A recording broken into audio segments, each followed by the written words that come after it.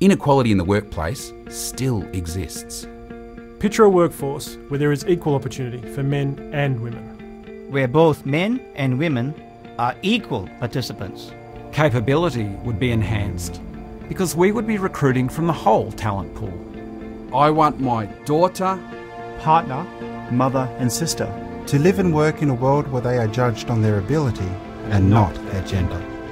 Equality is possible. It starts with you, us, me.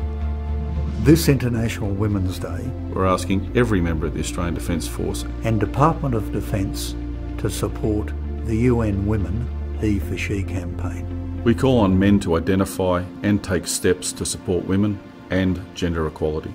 Embrace flexibility. Be a mentor. Call out the myths. Be a champion.